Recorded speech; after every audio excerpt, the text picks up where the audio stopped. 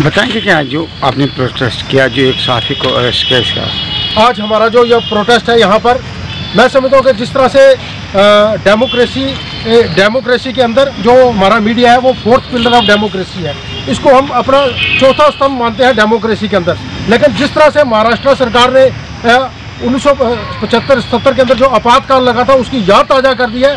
Demo जो हमारे आ, आ, मीडिया के मीडिया हाउसेस के प्रमुख हैं अर्नब गोस्वामी जी को, जिस तरह से अरेस्ट किया गया, एक ऐसे केस के अंदर अरेस्ट किया गया, जो केस क्लोज हो चुका है, उसके अंदर उनकी गिरफ्तारी की गई है। मैं इसे समझता हूँ कि सरासर एक नाइंसाफ़ी है।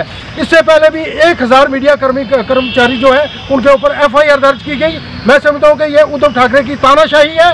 वो बिल्कुल कांग्रेस के पिछ लघु बन चुके हैं। मैं आपके माध्यम से एक और बात कहता, कहना चाहता हूँ कि वहाँ एक शुतुरमुर्ग भी है।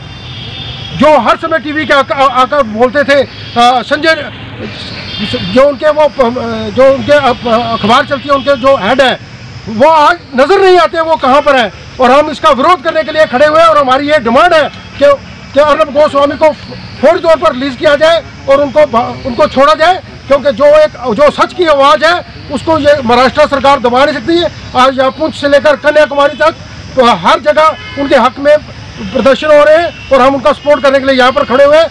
महाराष्ट्र सरकार! महाराष्ट्र सरकार! अर्नब गोस्वामी को! रिहा करो रिहा करो। गोस्वामी को! रिहा करो रिहा करो।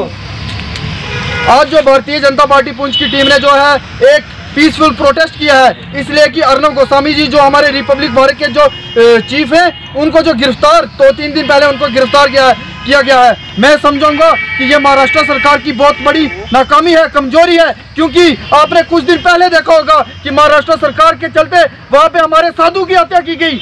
और उसके बाद जब हमारे सुशांत राजपूत की जो है हत्या की गई तो उसके ऊपर कंगना रावत को जो है बहुत सारी धमकियाँ दी गई। मैं कहूँगा कि ऐसी गुंडागर्दी जो है, वो नहीं चलनी चाहिए। मैं विरोध करता हूँ इस चीज़ का, और हम कहते हैं कि जल्द से जल्द जो है हमारे रिपब्लिक भारत के चीफ जो है अर्नब गोस्वामी जी, उनको रिहा किया जाए। नहीं तो जल्द ही भारतीय जनता पार्टी युवा मोर्चा जो है आपका जम्मू कश्मीर की सड़कों पर नज़र आएगी, और हम इसको एक बहुत बड़ा जो है आंदोलन के रूप में जो है हम सड़कों पर दिखेंगे। धन्यवाद।